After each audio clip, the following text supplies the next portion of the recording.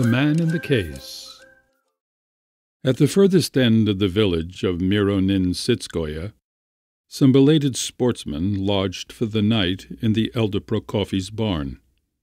There were two of them, the veterinary surgeon Ivan Ivanovitch and the schoolmaster Burkin. Ivan Ivanovitch had a rather strange double-barreled surname, Chimsha Himalaisky, which did not suit him at all, and he was simply called Ivan Ivanovitch all over the province. He lived in a stud farm near the town, and had come out shooting now to get a breath of fresh air. Burkin, the high school teacher, stayed every summer at Count P.'s, and had been thoroughly at home in his district for years. They did not sleep. Ivan Ivanovitch, a tall, lean old fellow with long moustaches, was sitting outside the door smoking a pipe in the moonlight. Burkin was lying within on the hay, and could not see in the darkness. They were telling each other all sorts of stories. Among other things, they spoke of the fact that the elder's wife, Mavra, a healthy and by no means stupid woman, had never been beyond her native village, and had never seen a town nor a railway in her life, and had spent the last ten years sitting behind the stove, and only at night going out into the street. What is there wonderful in that? said Burkin. There are plenty of people in the world, solitary by temperament, who try to retreat into their shell like a hermit crab or a snail. Perhaps it is an instance of atavism, a return to the period when the ancestor of man was not yet a social animal, and lived alone in his den. Or perhaps it is only one of the diversities of human character. Who knows? I am not a natural science man, and it is not my business to settle such questions. I only mean to say that people like Mavra are not uncommon. There is no need to look far. Two months ago a man called Bylakov, a colleague of mine, the Greek master, died in our town. You have heard of him, no doubt. He was remarkable for always wearing galoshes and a warm wadded coat, even in the finest weather, and his watch was in a case made of gray chamois leather, and when he took out his penknife to sharpen his pencil, his penknife too was in a little case, and his face seemed to be in a case too, because he always hid it in his turned up collar. He wore dark spectacles and flannel vests, stuffed up his ears with cotton wool, and when he got into a cab he always told the driver to put up the hood. In short, the man displayed a constant and insurmountable impulse to wrap himself up in a covering, to make himself, so to speak, a case which would isolate him and protect him from external influences. Reality irritated him, frightened him, kept him in a continual agitation, and perhaps to justify his timidity, his aversion for the actual, he always praised the past and what had never existed. And even the classical languages which he taught were in reality, for him, galoshes and an umbrella, in which he sheltered himself from real life. Oh, how sonorous, how beautiful is the Greek language, he would say, with a sugary expression, and as though to prove his words, he would screw up his eyes and, raising his finger, would pronounce Anthropos. And Bylakov tried to hide his thoughts also in a case. The only things that were clear in his mind were government circulars and newspaper articles in which something was forbidden. When some proclamation prohibited the boys from going out in the street after nine o'clock in the evening, or some article declared carnal love unlawful, it was to his clear mind definite. It was forbidden, and that was enough. For him there was always a doubtful element, something vague and not fully expressed in any sanction or permission. When a dramatic club or a reading group or a tea shop was licensed in the town, he would shake his head and say softly, It is all right, of course, it is all very nice, but I hope it won't lead to anything.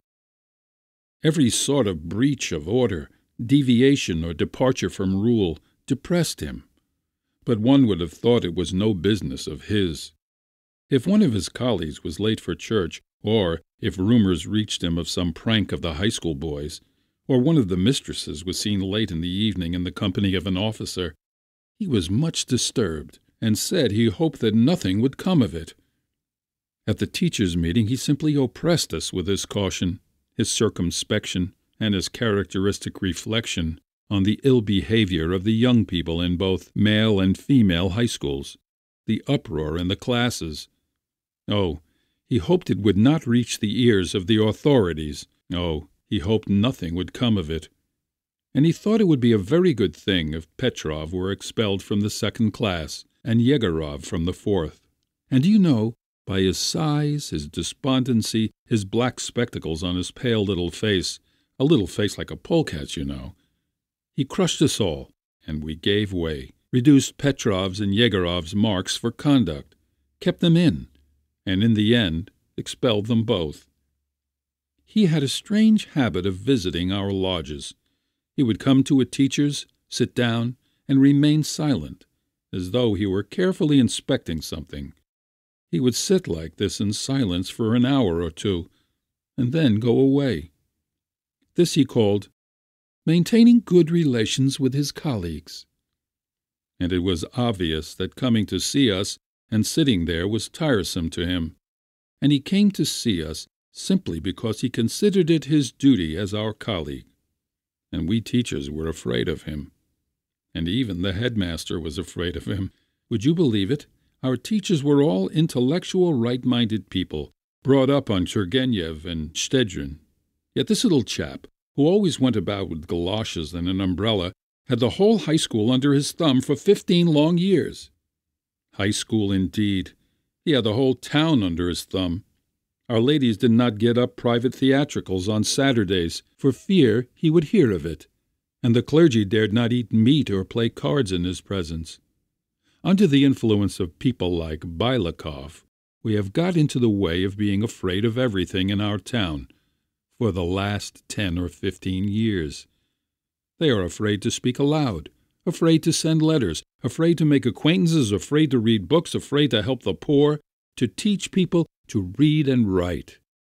Ivan Ivanovitch cleared his throat, meaning to say something, but first lighted his pipe, gazed at the moon, and then said with pauses, Yes, intellectual, right-minded people read Shtchedrin and Turgenev, Buckle, and all the rest of them. Yet they knocked under and put up with it. That's just how it is.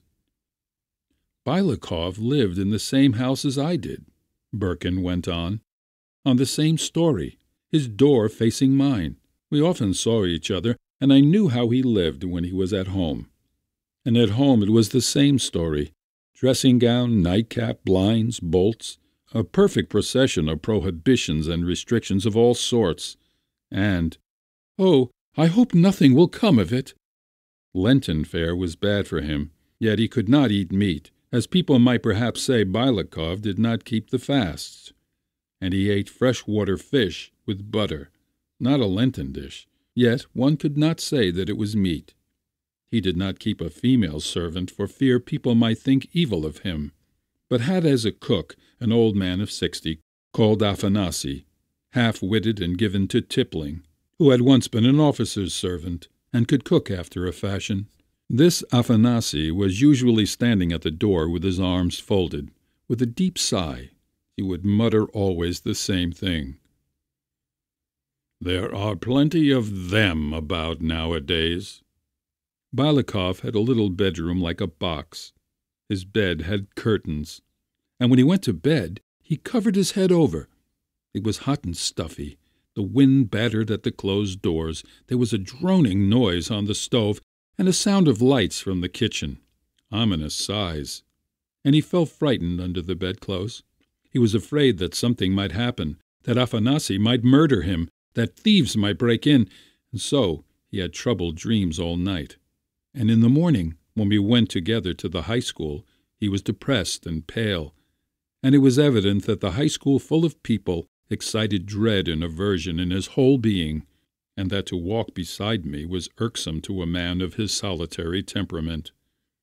They make a great noise in our classes, he used to say, as though trying to find an explanation for his depression. It's beyond anything. And the Greek master, this man in a case, would you believe it, almost got married. Ivan Ivanovitch glanced quickly into the barn and said, You're joking. Yes, strange as it seems, he almost got married. A new teacher of history and geography, Mihail Savich Kovalenko, a little Russian, was appointed. He came not alone, but with his sister Varenka. He was a tall, dark man with huge hands, and one could see from his face that he had a bass voice. And, in fact, he had a voice that seemed to come out of a barrel boom, boom, boom.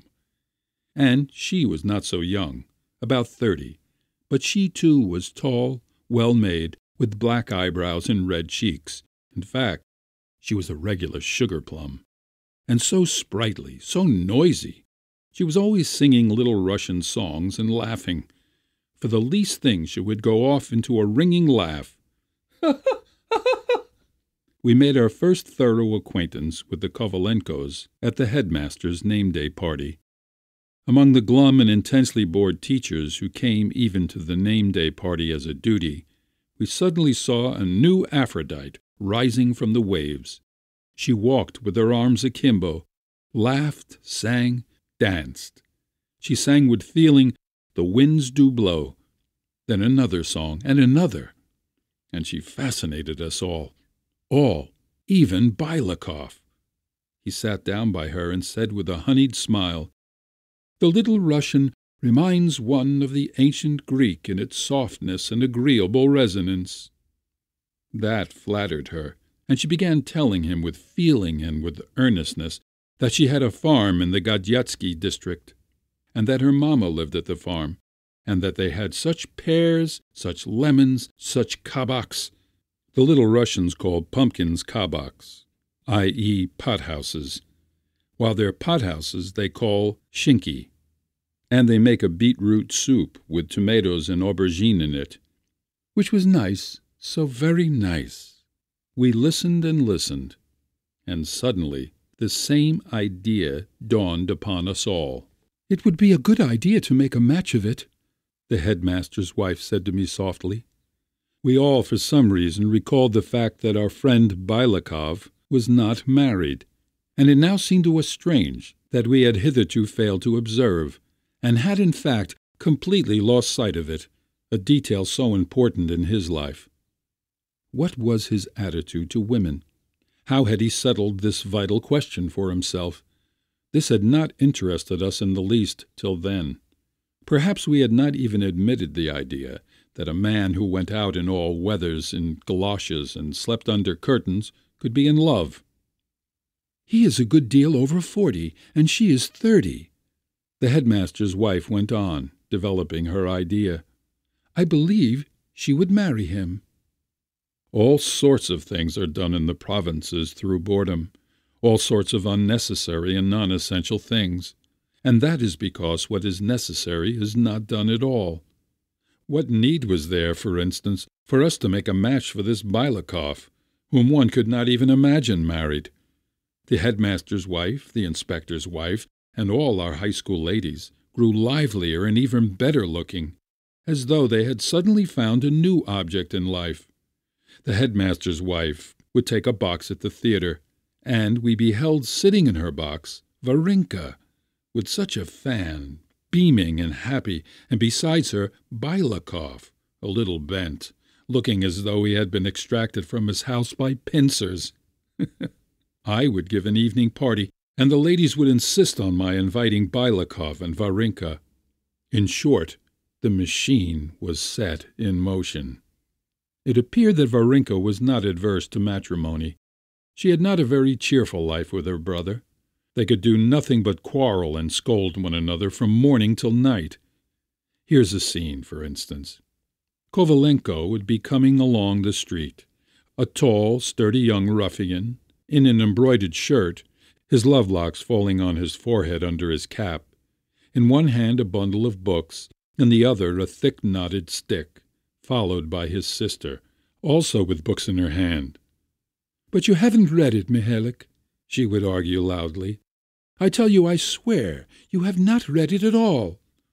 And I tell you, I have read it, cries Kovalenko, thumping his stick on the pavement. Oh, my goodness, Mihailuk, why are you so cross? We are arguing about principles. I tell you that I have read it, Kovalenko would shout, more loudly than ever. At home, if there was an outsider present, there were sure to be skirmishes. Such a life must have been wearisome, and of course she must have longed for a home of her own. Besides, there was her age to be considered. There was no time left to pick and choose. It was a case of marrying anybody, even a Greek master. And indeed, most of our young ladies don't mind whom they marry, so long as they do get married. However that may be, Varenka began to show an unmistakable partiality for Bylakov. And Bylakov? He used to visit Kovalenko as he did us. He would arrive, sit down, and remain silent. He would sit quiet, and Varenka would sing to him The Winds Do Blow, or would look pensively at him with her dark eyes, or would suddenly go off into a peal. Suggestion plays a great part in love affairs, and still more in getting married. Everybody, both his colleagues and the ladies, began assuring Bylakov that he ought to get married, and that there was nothing left for him in life but to get married. We all congratulated him with solemn countenances, delivered ourselves of various platitudes, such as, Marriage is a serious step. Besides, Varenka was good looking and interesting. She was the daughter of a civil councillor, and had a farm. And what was more, she was the first woman who had been warm and friendly in her manner to him. His head was turned, and he decided that he really ought to get married. Well, at that point, you ought to have taken away his galoshes and umbrella, said Ivan Ivanovitch.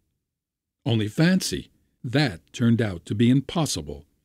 He put Varenka's portrait on his table, kept coming to see me and talking about Varenka and home life, saying marriage was a serious step.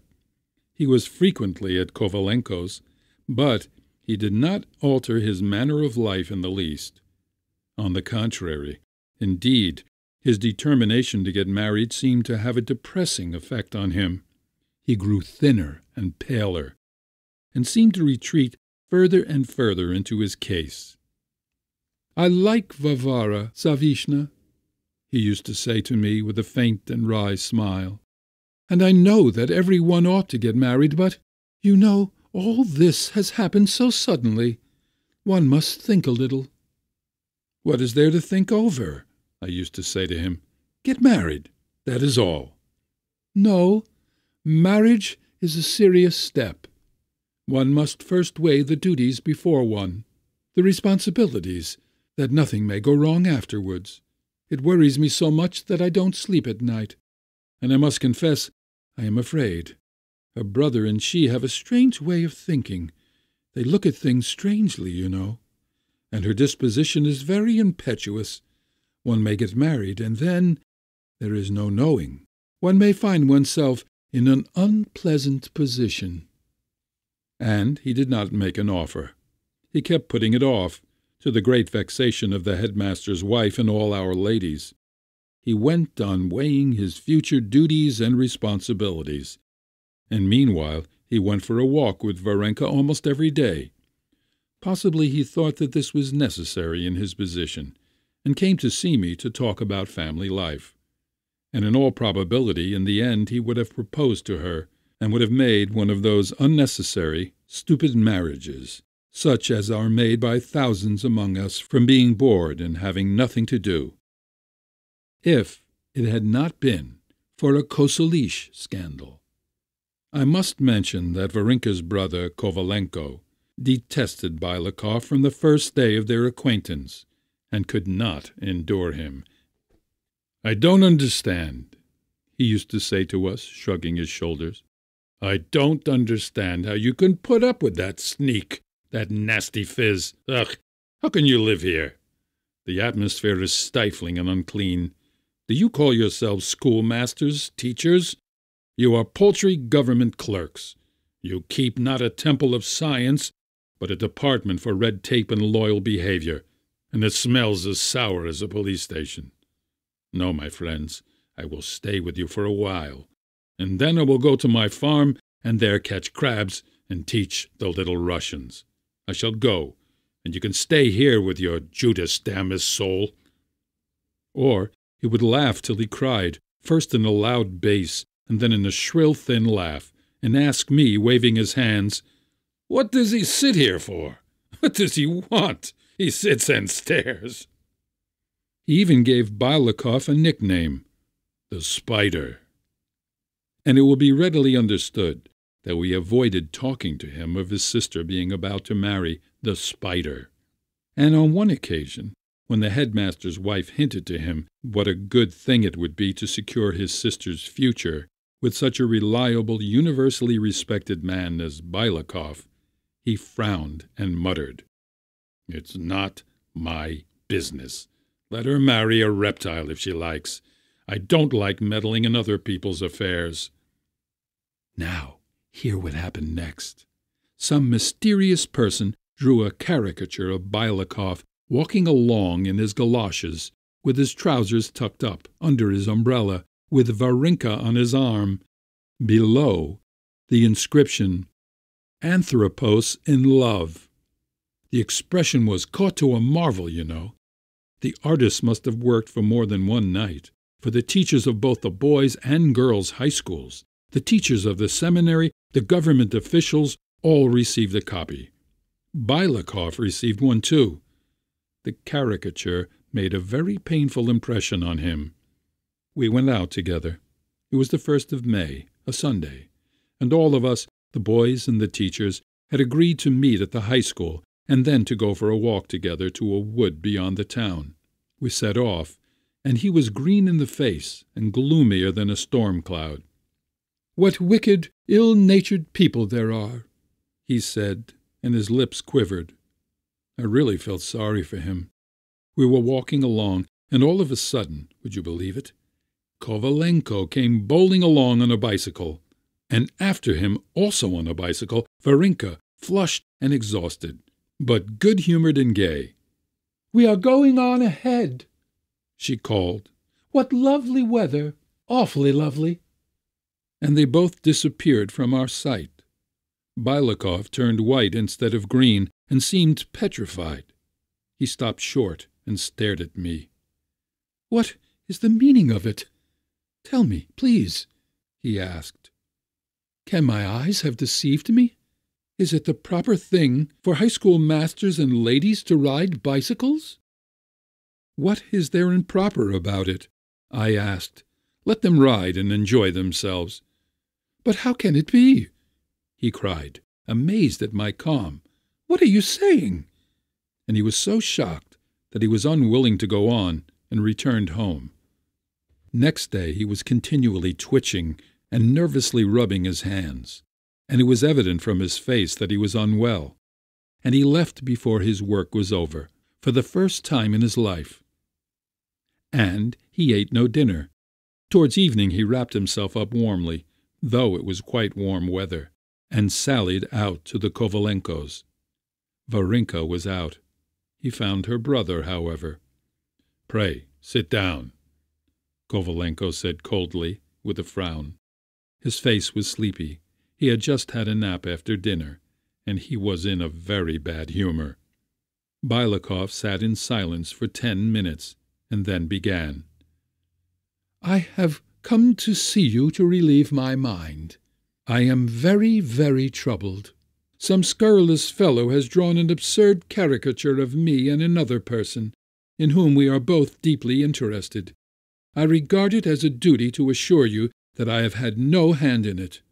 I have given no sort of ground for such ridicule. On the contrary, I have always behaved in every way like a gentleman. Kovalenko sat sulky and silent. Bylakov waited a little, and went on slowly in a mournful voice. And I have something else to say to you. I have been in the service for years, while you have only lately entered it, and I consider it my duty as an older colleague to give you a warning. You ride on a bicycle, and that pastime is utterly unsuitable for an educator of youth. Why so? asked Kovalenko in his bass. Surely that needs no explanation, Mihail Savich, Surely you can understand that. If the teacher rides a bicycle, what can you expect the pupils to do? You will have them walking on their heads next, and so long as there is no formal permission to do so, it is out of the question. I was horrified yesterday. When I saw your sister, everything seemed dancing before my eyes. A lady or a young girl on a bicycle. It's awful. What is it you want exactly? All I want is to warn you, Mihail Savitch. You are a young man, and you have a future before you. You must be very, very careful in your behavior. Ah, and you are so careless, oh, so careless. You go about in an embroidered shirt, are constantly seen in the street carrying books. And now the bicycles, too. The headmaster will learn that you and your sister ride the bicycle, and then it will reach the higher authorities. Will that be any good? It's no business of anybody else if my sister and I do bicycle, said Kolokov, and he turned crimson. And damnation take anyone who meddles in my private affairs. Bylakov turned pale and got up. If you speak to me in that tone, I cannot continue, he said, and I beg you never to express yourself like that about our superiors in my presence. You ought to be respectful to the authorities. Why, have I said any harm of the authorities? asked Kovalenko, looking at him wrathfully. Please leave me alone. I am an honest man, and I do not care to talk to a gentleman like you. I don't like sneaks. Bylakov flew into a nervous flutter and began hurriedly putting on his coat, with an expression of horror on his face. It was the first time in his life he had ever been spoken to so rudely. You can do as you please, he said as he went from the entry to the landing on the staircase. I ought to warn you. Possibly someone has overheard us, and that our conversation may not be misunderstood and harm come of it, I shall be compelled to inform our headmaster of our conversation, in its main features. I am bound to do so. Inform him? You can go and make your report. Kovalenko seized him from behind by the collar and gave him a push, and Bylakov rolled downstairs, thudding with his galoshes. The staircase was high and steep, but he rolled to the bottom unhurt, got up, and touched his nose to see whether his spectacles were all right. But just as he was falling down the stairs, Varenka came in, and with her two ladies. They stood below staring. And to Bylakov this was more terrible than anything. I believe he would have rather broken his neck or both legs than have been an object of ridicule. Why, now the whole town would hear of it. It would come to the headmaster's ears, would reach the higher authorities. Oh, it might lead to something. There would be another caricature, and it would all end in his being asked to resign his post. When he got up, Varenka recognized him, and looked at his ridiculous face, his crumpled overcoat, and his galoshes. Not understanding what had happened, and supposing that he had slipped down by accident, could not restrain herself and laughed loud enough to be heard all over the flats. and this pealing, ringing ha ha ha was a last straw that put an end to everything to the proposed marriage, to the proposed match, and to Bylakov's earthly existence. He did not hear what Varenka said to him. He saw nothing. On reaching home, the first thing he did was to remove her portrait from the table, and then he went to bed, and he never got up again. Three days later, Afanasy came to me and asked whether we should not send for the doctor, as there was something wrong with his master. I went in to Bylakov. He lay silent behind the curtain, covered with a quilt. If one asked him a question, he said yes or no, and not another sound. He lay there while Afanasy, gloomy and scowling, hovered about him, sighing heavily and smelling like a pothouse. A month later, Bylakov died. We all went to his funeral. That is, both the high schools and the seminary. Now, when he was lying in his coffin, his expression was mild, agreeable, even cheerful, as though he were glad that he had last been put into a case which he would never leave again. Yes, he had attained his ideal, and, as though in his honor, it was a dull rainy day on the day of his funeral, and we all wore galoshes and took our umbrellas. Varenka, too, was at the funeral, and when the coffin was lowered into the ground, she burst into tears. I have noticed that little Russian women are always laughing or crying, no intermediate mood. One must confess that to bury people like Belikov is a great pleasure. As we were returning from the cemetery, we wore discreet Lenten faces. No one wanted to display this feeling of pleasure, a feeling like that we had experienced long, long ago as children, when our elders had gone out and we ran about the garden for an hour or two, enjoying complete freedom. Ah, freedom, freedom! The merest hint, the faintest hope of its possibility, gives wings to the soul, does it not?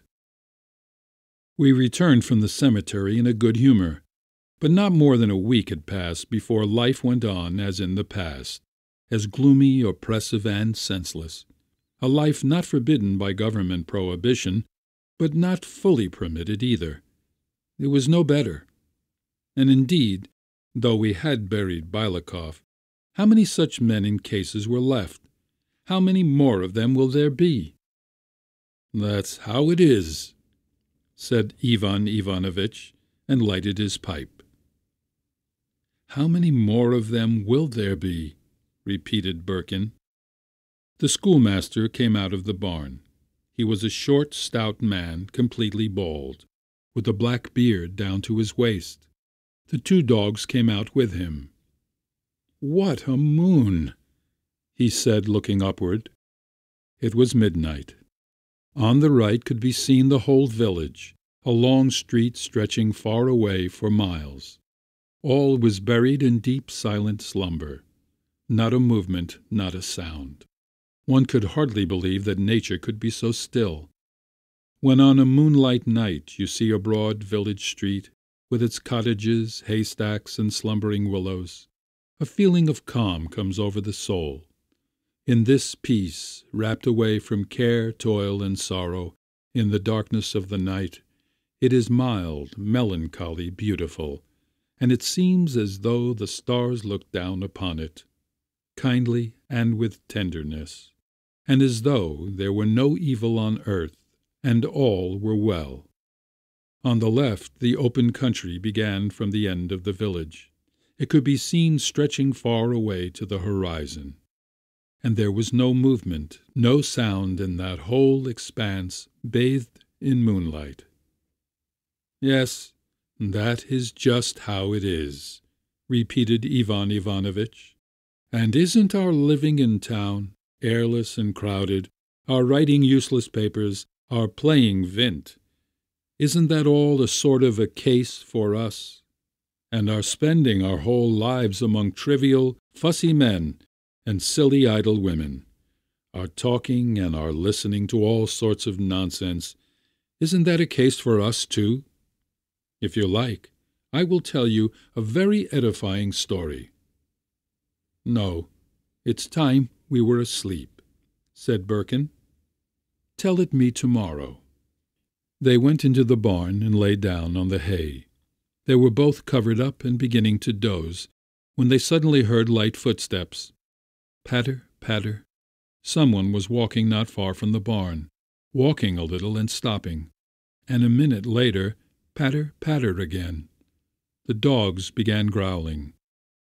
That's Mavra, said Burkin. The footsteps died away. You see and hear that they lie, said Ivan Ivanovitch, turning over on the other side, and they call you a fool for putting up with their lying. You endure insults and humiliation, and dare not openly say that you are on the side of the honest and the free, and you lie and smile yourself, and all that for the sake of a crust of bread, for the sake of a warm corner, for the sake of a wretched little worthless rank in the service. No, one can't go on living like this. Well, you are off on another track now, Ivan Ivanovitch, said the schoolmaster. Let us go to sleep. And ten minutes later Burkin was asleep. But Ivan Ivanovitch kept sighing and turning over from side to side. Then he got up, went outside again, and sitting in the doorway, lighted his pipe. This is a Cloud Mountain production.